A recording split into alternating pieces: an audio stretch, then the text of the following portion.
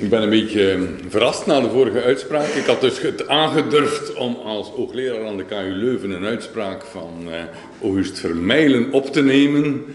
Maar blijkbaar is dat een ketterij waarvoor ik enkel de brandstapel kan verdienen. Uh, ik zal dan daarom zo snel mogelijk proberen uitleggen wat ik bedoel. Hier staat Vlaming zijn om Europeer te worden. Maar nee, dat staat achter bachelor master. Wat bedoel ik daarmee? Wel, ik zal beginnen met de stelling. Wat is mijn stelling? Bachelor-master is het de Bologna-hervorming. En wat hebben wij gedaan in België? We hebben van die Bologna-hervorming een hervorming gemaakt die ons zogezegd, zoals altijd door Europa is opgelegd, om onze bestaande programma's te structureren, maar we hebben nooit gedacht waarover dat ging. Eigenlijk, dus de Bologna-hervorming, is, dat bachelor-master systeem is voor een stuk eh, gesteund op ja, voor een stuk de anglo-saxische cultuur. Ja. Dus waar bachelors eigenlijk het basis en zelfs het afstudeer universitair diploma zijn. Dus driejarige bachelors in, de, in het Verenigd Koninkrijk, maar ook in andere landen van Europa heb je. En dat is eigenlijk de universitaire opleiding. Een master is daar helemaal geen evidentie. En in die zin, ja, wat is de master daar dan wel in die logica? Wel, dat is eigenlijk een optionele onderzoeksopleiding. Dus iets helemaal anders. Het is niet gewoon het eh, kandidatuur licentiaatsverhaal van vroeger dat gewoon is geherstructureerd. Nee, het bachelordiploma is het einddiploma en de master is het onderzoeksdiploma. Of, en dat kan voor ingenieurs een ontwerpdiploma zijn. Ik ga niet beginnen met al die, die interne debatten te ondergaan. Alhoewel, dus voor, voor ehm, waar het hier over gaat vandaag, dus het taalprobleem speelt dan natuurlijk een rol. Het moet niet allemaal Engels zijn, op geen enkele manier moet dat zo zijn. Maar dus mijn inschatting is dus, en dat zal mijn stelling zijn, die bachelor, ja, die moet gegeven worden in het Nederlands voor mij. Drie jaar Nederlands. En in drie jaar Nederlands hebt u meer dan genoeg tijd om uit te leggen dat de black hole een zwart gat is. Eh, eh, als eh, het gaat om terug te komen op dat wat we vanmorgen gediscussieerd hebben. En voor nog een hele hoop andere dingen ook. Die onderzoeksopleiding die erachter komt, daar speelt een heel andere logica een rol. En dat, dat is een beetje het centrum van mijn verhaal. Voor mij moet Nederlands in de bachelor.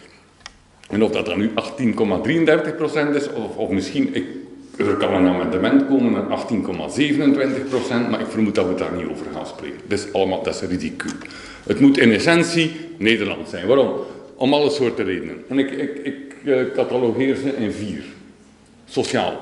Het is waar, als wij Engels zouden opleggen als taal voor onze bachelor in Vlaanderen, zou dat betekenen dat een aantal studenten, om, gewoon omwille van kwaliteiten die a priori niets te maken hebben met de opleiding die ze willen volgen, uit het systeem weggefilterd worden. Dit kan niet. Dit kan niet, dit zal niet zolang ik leef. Geen sprake van. Dus dit is sociaal inacceptabel. En tegelijkertijd ook economisch dom. Heel vaak zijn sociaal inacceptabele eh, argumenten economisch dom. Als die mensen niet de kans geeft om hun talenten te ontwikkelen, dan dat is idioot.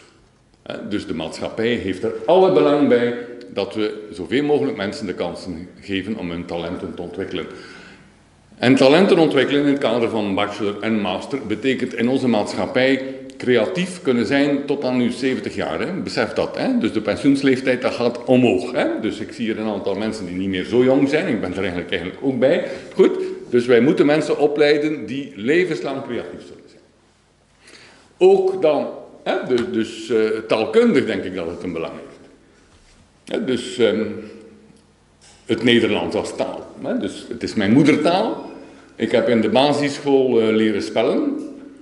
Ik heb in het secundair onderwijs geleerd, enfin, ik, heb, ik heb er enorm van genoten, ik heb ten andere heel veel Latijn en Grieks geleerd. Hè? Dus de vorige keer de, dat ik hier stond, was het om een voordracht te geven over um, sterrenkunde in de Griekse oudheid. Hè? Dus en dus eh, ja, in de logica daarvan zou ik eigenlijk moeten zeggen dat iedere wetenschapper Grieks zou moeten kennen om iets van zijn wetenschap te begrijpen, maar zover zal ik vandaag niet gaan. In mijn secundaire studies heb ik geleerd, ja, veel gelezen, veel literatuur doorgewerkt, mijn gedachten leren uitdrukken, mijn gevoelens ook. Maar als we zien de studenten die wij aan de universiteit krijgen, of die in staat zijn om werkelijk wetenschappelijk taalgebruik te hanteren, het antwoord is nee. Ze kunnen dat niet. Dus ze, kunnen dat niet, ze zijn daar niet voor getraind. Dat is eigenlijk, denk ik, ook een stuk van onze taak aan de universiteit om dat te doen. Om te zeggen, in een wetenschappelijke tekst begint u best uw zin met het onderwerp. Begint niet met moeilijke constructies.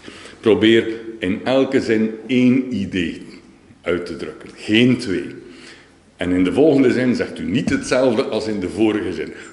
Dergelijke idiotieën, nee, nee, nee, belangrijke dingen. Hè? Dus die uh, jonge, bevlogen mensen moeten leren, dat leren wij hen aan in de universiteit.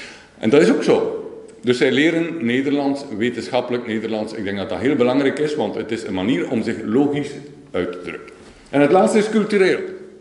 Wij hebben een lange culturele strijd uitgevochten in Vlaanderen.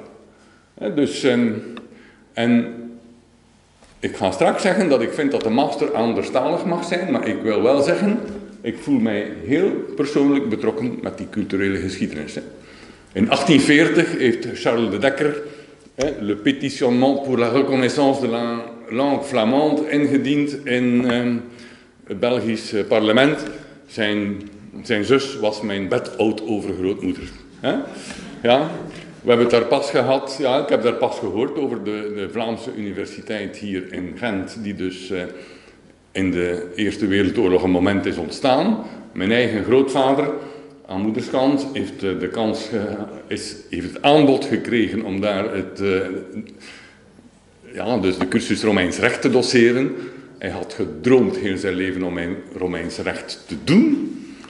Hij heeft het niet gedaan omdat hij het project niet kosher vond, want dat heeft niet belet dat hij elke vorm van promotie in, uh, tot ergens de magistratuur, hè, vrederechter of zo, kon vergeten voor de rest van zijn carrière. Gewoon het feit wat hij gevraagd. Mijn familie heeft gevochten en geleden en ik zal blijven vechten en blijven, blijven lijden als het nodig is.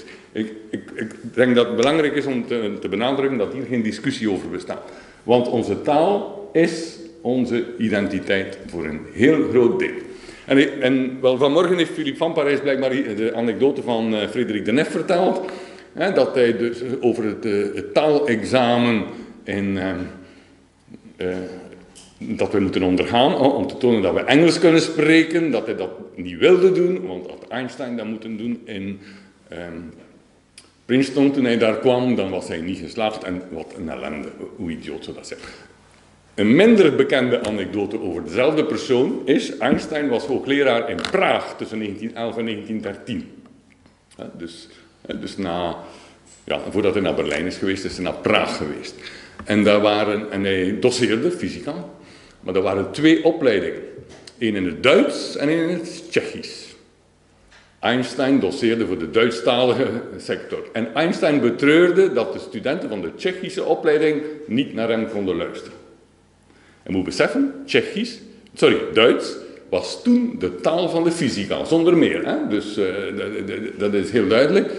Dus Einstein had een punt, maar de Tsjechen hadden ook een punt. Kun je voorstellen?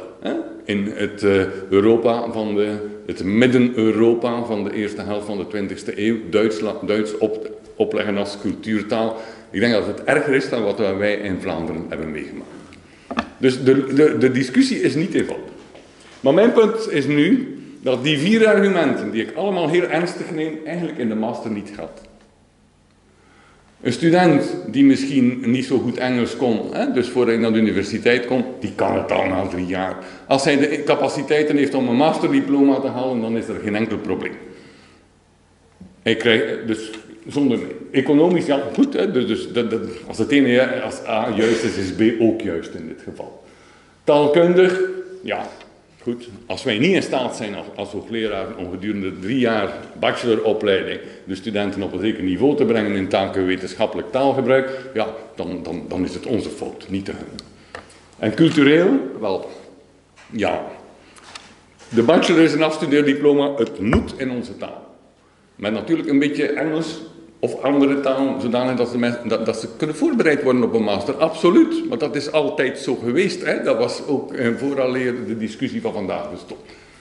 Maar in de, in de masters ja, dan in die onderzoeksopleiding geldt, dat gaan we straks zien, toch meer internationale context. En daar is het, eh, wordt onze cultuur meer gedraaid, gedragen door het feit dat wij eigenlijk ze met anderen confronteren. Door anderen naar hier te brengen, door andere dingen te lezen, door uh, met anderen om te gaan. Ik heb meegemaakt uh, in een visitatie in Nederland, hè, dus, uh, waar alles dus helemaal Engels is. Hè. En het was ten andere aan de Universiteit van Amsterdam. De beste student sterrenkunde, dat was iemand uit een land dat ik niet ga noemen, anders ga je hem misschien opzoeken. Hè. Dus we moeten de privacy respecteren. Ja, dat was iemand die helemaal geen, geen Nederlands kende maar toch wel, na drie, vier, vijf jaar in Amsterdam Nederlands had gestudeerd. Wel, die man gaat terug naar zijn thuisland, is de beste ambassadeur die u voor de Nederlandse cultuur kunt wensen. Goed. Dus dit is het aspect Europeer worden in Nederland. En dan de taal. Welke taal? Het is telkens opnieuw de Engels. Nee, gewoon de taal van de wetenschapsdiscipline. De moeilijkste van allemaal, dat moet rechten zijn. dus als je in rechtsgeleerdheid echt alle literatuur wil lezen, ja, eh, als je in, van de Vlaamse universiteit eh, afstudeert als eh, rechtskundige en kent, geen, je kent geen Frans, betekent dat je de helft van de literatuur, in zekere zin in, in, in de nationale, van de, de helft van de wetenschappelijke literatuur nationaal in je domein niet kan lezen. Waanzin. Hoe kan je zo iemand een masterdiploma geven? En eigenlijk moet je Nederlands kennen, uh, Engels ook kennen. En in de grond Latijn. Nu, dat is een ander uh, ja, stokpaardje van mij natuurlijk, hè, dat Latijn. Dus naast dat Grieks, hè. dus ik heb er twee. Latijn, nee, sterrenkunde is een derde stokpaardje. Maar goed, hè, dus um, Latijn. Ja, dus een broer van mij studeert, uh, is hoogleraar Romeins recht. Ja, hè, dus, en die zegt, ja, die is even fanatiek als ik. Hè. Voor mij is, zijn alle problemen in het universum te begrijpen via de sterrenkunde. Voor hem is alles, alle problemen van de maatschappij zijn te begrijpen via het Romeins recht. dus we zijn zeer, zeer gelijkaardig. Maar dus, het Romeins recht is de basis van ons recht. Hè.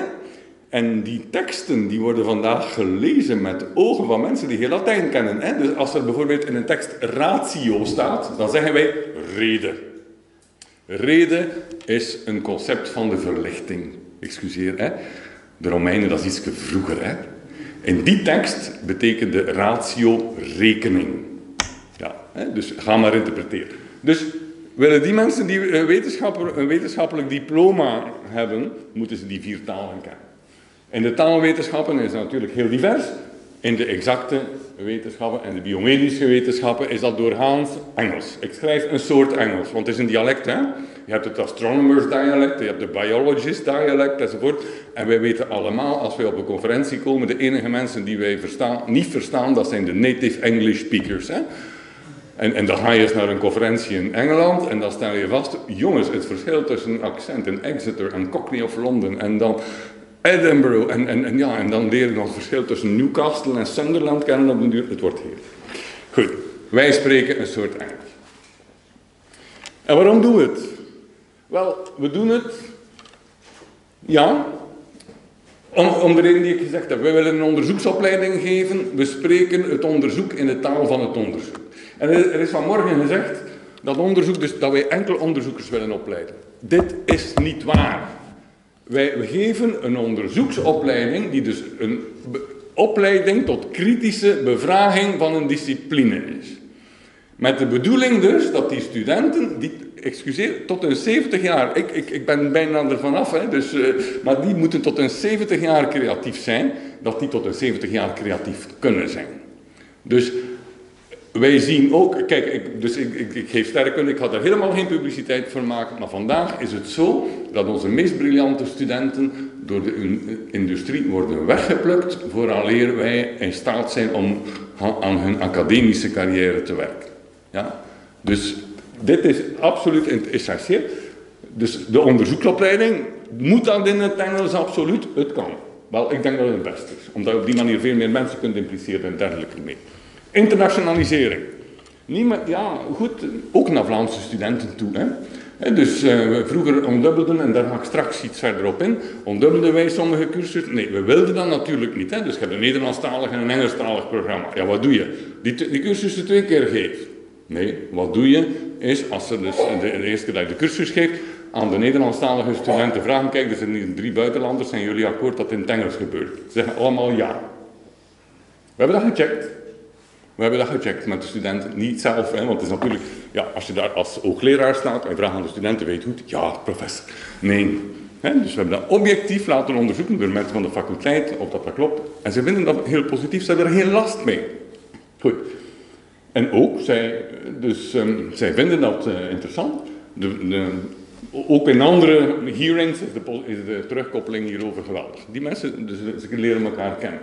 Om terug te komen, ja, de, de, wel, uh, ik heb over uh, de Universiteit van Praag gesproken. Hè, dus ja, in, daar was het vroeger allemaal in het Latijn. Hè, dus in, in, in de periode dat, ja, dat alles dat de lingua franca het Latijn was, dan eh, was er veel meer studentenmobiliteit dan vandaag. Natuurlijk, de studenten waren iets minder sociaal geselecteerd, dat besef ik zeer goed, maar er was veel studentenmobiliteit. De, ze waren Europeer via die studentenmobiliteit. Eh, en het is anders natuurlijk vandaag. En Engels en Latijn is ook niet hetzelfde, maar in elk geval, ik ken geen enkel Europees land dat als gevolg van die studentenmobiliteit in de middeleeuwen ja, waar dus het Latijn de volkstaal uiteindelijk verdrongen heeft. Enfin, nu, het Vaticaan is misschien één voorbeeld, maar dat, voor de rest ken ik er geen.